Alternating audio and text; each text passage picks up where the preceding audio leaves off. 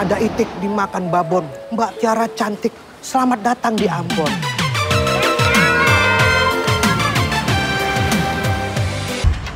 Pulau ini emang terkenal berhantu. Kata orang, ada penunggunya. Kulitnya hitam, rambutnya acak-acakan. Mukanya hancur. Itu malu. Saya hidup tambahin raya. Kalau nggak ngebaca, kalau nggak ngerampok kapal kita, kita nggak akan mungkin juga ada di sini. Saja, satu Ayo. satu. Ayo, Kau ya, ayo. Gak usah banyak mulut. Kau ini kau pukul nih. Ini gak apa-apa kau pukulnya. Ah.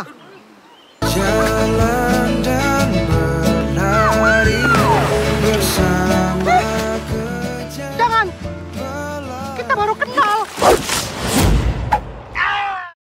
Halo semuanya, saya Muhammad Alkatiri di film Kapal Goyang Kapten saya berperan sebagai Bertus. Nah Bertus itu dia orang asli Maluku, orang asli Maluku jadi ya eh, suka-suka dia lah di film ini tuh semua berjalan sesuai isi kepala dia gitu dan dia adalah pembajak yang membajak ini anak-anak kecil ini.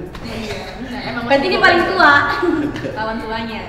Hai semuanya, aku Romaris Bolon di film Kapal Boy Kapten aku sebagai Kara. Kara itu anaknya paling kecil dari antara Rizkis yang lain. Dia itu suka banget nanya-nanya. Dia itu anaknya Om Arif Didu sama Tante Sri Bolas. Udah. Halo semuanya, aku Naomi Papilaya. Di sini peran aku sebagai Salma. Salma ini adalah istrinya dari Mas Darto. Kita baru nikah, jadi pengantin baru, pengen bulan madu bareng sama turnya Mas Gom Gom. Iya. Itu Bang Babe di sini. Dan karakternya si Salma pribadi ini adalah dia tuh tipe yang manja, nggak mau susah, nggak mau ribet. Pokoknya manja banget sama sang suaminya. Kemarin kan dikenal sebagai eh, penyanyi cilik atau artis cilik gitu kan, udah melekat lah image seperti itu. Iya. Terus sudah pernah main juga di beberapa film, Baru empat. baru empat film. Oke, terus pengalaman main film bareng stand up komedian ini gimana nih? Selain nahan ketawa tuh kendala lainnya apa sih? Eh, apa lagi ya? Hmm, pokoknya itu salah satunya nanti ketawa. Terus habis itu nggak nggak bakal bisa fokus. Jadi kalau misalnya ada adegan adegan yang lucu, tapi kita disuruh nggak nggak boleh ketawa, ya itu jadi susah itu bak- itu bakal susah banget. Jaga kesehatan di sana gimana sih? Pas syuting kan kita tahu sendiri tuh. Syutingnya banyak kan scene-nya tuh kayak main air di pulau atau di tengah laut gitu. Tuh masuk angin gak sih? Syutingnya kan berulang-ulang seperti itu. Saya masuk angin malah disuruh biarin. Gak ada apa-apa sih gitu kayak saya kayak mau dipanas-panas juga yang case yang lain disuruh eh jangan nanti takut hitam gitu. Saya mat makin hitam aja gitu gitu. Di sana kan 18 hari tuh di pulau gitu. Tanpa listrik juga gitu di tengah laut itu gimana tuh?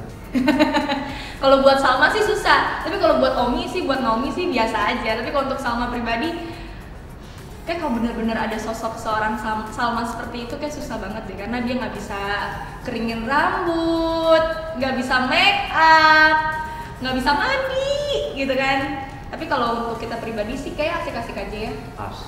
asik aja. Pengalaman lucu apa sih yang selama proses syuting ini? Ya lucu, sebenarnya lucu dan menyeramkan sih tenggelam empat kali. Nggak bisa berenang. Rupanya gitu tidak bisa berenang. Aslinya nggak bisa berenang. Jadi setiap adegan di laut pasti deg-degan. Nah, udah kejadian berulang-ulang kapal terbalik, saya tenggelam. Terus disuruh jebur, saya jebur nggak naik-naik. Terus eh, katanya sih G Pamungkas di sana dilarang bicara dan bercanda sama case lain ya, benar sih itu? Dipisahkan seperti itu diasingkan. Nggak tahu dia tuh. Katanya menurut apa Om Remon suruh jangan yang sutradaranya jangan gabung sama kita yang komik-komik karena kan kalau ini nanti tetap karakter dia yang sebagai stand up komedian nah di sini dia nggak boleh ngelucu dia harus serius sebagai Daniel itu harus serius gitu Oh, mungkin kenapa orang harus nonton film ini dan kenapa orang jangan nonton film ini? Kenapa orang harus nonton film kita? Karena filmnya itu menghibur. Jadi kalau ada orang yang lagi galau, ada orang lagi bete, atau orang lagi selesai ujian, jadi nonton selesai ujian banget ya. Stres tahu, serius stres tahu.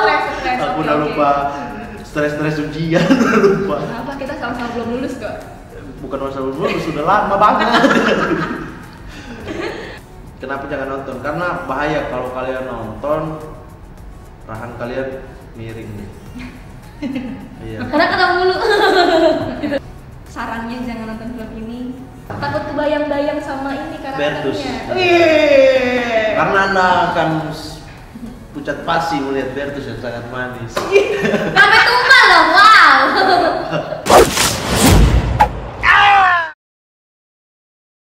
Topi saya bunda, bunda.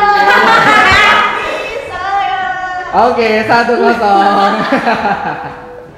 Lihat Gimana? Kenapa nggak konsen? Emang harus konsen kalau nggak Ah. konsen kalah dong. Oke, Yara. Kebunku penuh dengan bunga. Lihat. Bukan itu kita. Satu, dua, mata bertemu mata, mulai. Burung tangga bunda,